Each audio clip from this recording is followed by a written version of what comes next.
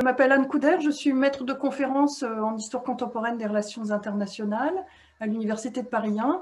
et je suis ancienne membre contemporanéiste de l'École française d'Athènes. Je vous propose euh, aujourd'hui de faire un petit point sur euh, la signification et les conséquences que la révolution grecque de 1821 a eues dans l'histoire de l'Europe et des relations internationales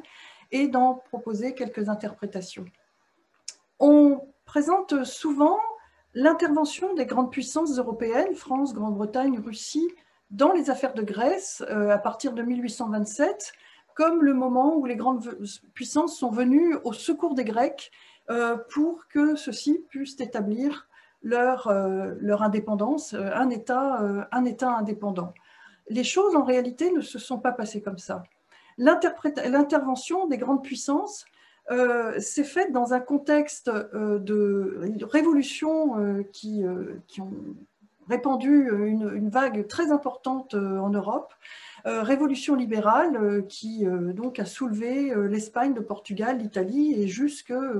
aux colonies espagnoles de l'Amérique du Sud. Les grandes puissances ne pouvaient pas reconnaître euh, ce mouvement des Hélènes qui affirmait l'existence de la nation et refusait la tyrannie du sultan, d'autant que euh, euh, toute l'Europe était liée par des traités de reconnaissance mutuelle et de coopération commerciale avec le sultan. L'Empire ottoman faisait alors partie intégrante du système international. En droit, il n'était pas possible d'intervenir en faveur des Grecs. Ce qu'ont fait les grandes puissances en 1827 par le traité de Londres euh, du 6 juillet 1827, c'est qu'elles se sont entendues entre elles, France, Grande-Bretagne et Russie, pour proposer une médiation au sultan et pour proposer une solution aux partis en conflit, aux Grecs donc, et à l'Empire ottoman. Cette solution ne prévoyait en aucun cas la création d'un euh, État indépendant. Au contraire, cette solution, qui se voulait être un compromis, devait préserver l'intégrité territoriale de l'Empire ottoman. Il s'agissait de maintenir ce statu quo qui avait été mis en place euh, euh, en Europe au moment du congrès de Vienne. Il s'agissait aussi de mettre fin à tout mouvement révolutionnaire et euh, il s'agissait donc de permettre aux Grecs de recommencer à vivre dans l'Empire ottoman sans être inquiétés par les autorités ottomanes. La solution proposée, c'était de créer un territoire euh, à l'intérieur de l'Empire ottoman, un territoire vassal du sultan, dans lequel les Grecs seraient regroupés et dans lequel ils bénéficieraient d'une certaine autonomie d'administration. Voilà la solution qui a été proposée et euh, en aucun cas il ne s'agissait donc de euh, créer un État indépendant. À partir du moment où les puissances ont proposé et ont imposé en fait au sultan, il y a aussi eu une guerre entre la Russie et l'Empire ottoman à l'issue de laquelle, en 1829, le, sultan a été obligé d'accepter cette solution. Euh, à partir du moment où les grandes puissances ont imposé cette solution, elles se sont elles-mêmes instituées puissances protectrices, protectrices des Grecs et de l'Empire ottoman. Et euh, l'État autonome de Grèce, qui était alors dirigé par un gouvernement provisoire, à la tête duquel se trouvait euh, Jean Capodistria, qui auparavant avait été ministre du Tsar, cet état-là, donc, s'est trouvé dans un état sans forcer le trait, dans un état de quasi-protectorat par rapport aux grandes puissances. Et euh, c'est euh, ce territoire-là qui a été organisé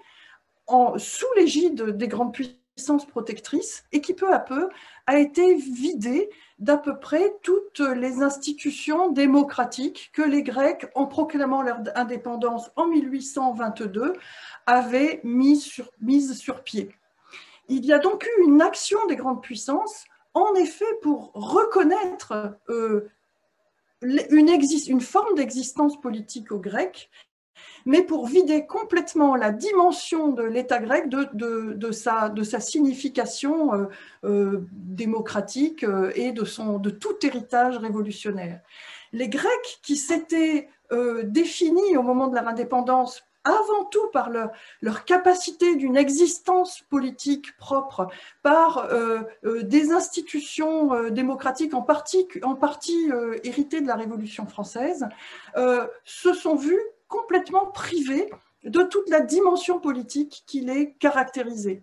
Et finalement, quand, après un certain nombre de revirements euh, euh, stratégiques, la Grande-Bretagne a fini par admettre qu'il était plus intéressant euh, géopolitiquement, dirait-on, de reconnaître un État grec indépendant plutôt que de reconnaître une existence aux Grecs dans un empire ottoman qui était assez soumis à l'influence de la Russie. Ce n'est donc qu'en 1830 que cet État qui s'était euh, donc euh, euh, développé sous l'égide des grandes puissances et sans aucune,